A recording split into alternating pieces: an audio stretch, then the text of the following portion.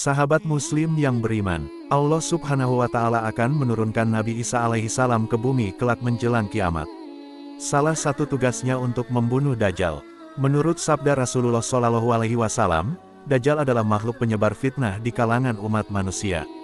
Beliau bersabda, tidak ada satupun makhluk sejak Adam diciptakan, hingga terjadinya kiamat yang fitnahnya lebih besar dari Dajjal, hadis riwayat Muslim. Imam Syamsuddin Al-Qurtubi dalam kitab Et-Tazkirah menjelaskan sejumlah hadith yang berkaitan dengan ciri-ciri fisik Dajjal.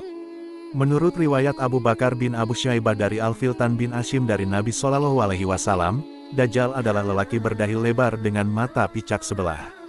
Sebagaimana Rasulullah Shallallahu Alaihi Wasallam bersabda, Adapun Masih ad-Dalalah, Al-Masih pembawa kesesatan, Dajjal adalah seorang lelaki yang berdahi lebar, picak mata kirinya, lebar lubang hidungnya, tubuhnya agak bongkok. Hadis riwayat Muslim. Adapun, menurut hadits dari Hujaifah, Dajjal disebut memiliki rambut yang tebal. Rasulullah Shallallahu Alaihi Wasallam bersabda, Dajjal itu picak mata kirinya dan tebal rambutnya. Dia membawa surga dan neraka. Tapi, neraka dia sebenarnya adalah surga, dan surga dia sebenarnya adalah neraka. Kelak Dajjal akan mati di tangan Nabi Isa alaihissalam. Kisah Nabi Isa alaihissalam membunuh Dajjal sendiri telah disebutkan dalam sejumlah riwayat. Mengutip kitab Kasif Al-Minanfi, Alamat As-Sahwa Al-Malahim wa Al-Fitan karya Mahmud Rayab Hamadi dan diterjemahkan oleh Ibnu Tirmidzi, Imam Mahdi memimpin kaum muslimin melawan bangsa Romawi.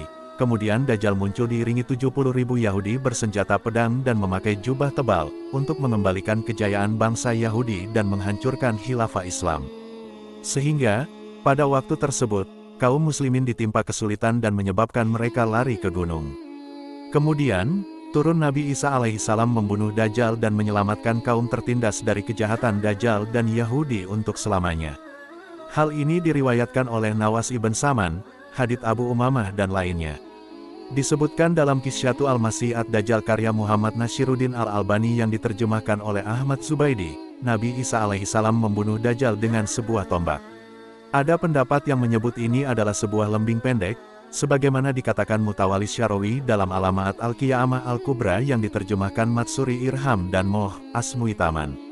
Ada pula pendapat yang menyebut, Nabi Isa alaihissalam akan menggunakan salah satu pedang milik Rasulullah Shallallahu alaihi wasallam untuk membunuh Dajjal. Menurut riwayat Ahmad dalam Al-Musnad dan Al-Hakim dalam Al-Mustadrak dari Usman bin Abul Esh, Nabi Isa alaihissalam pergi membawa tombaknya ke arah Dajjal.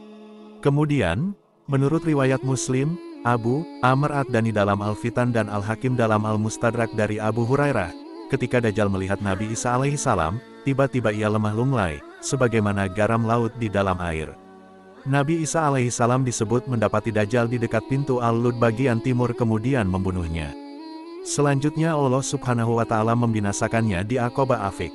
Ini merupakan keterangan dari riwayat Ahmad dalam Al-Musnad, Hanbal bin Ishaq dalam Al-Fitan, dan Ibnu Asakir dalam Et-Tarikh dari Safinah. Walahu a'lam.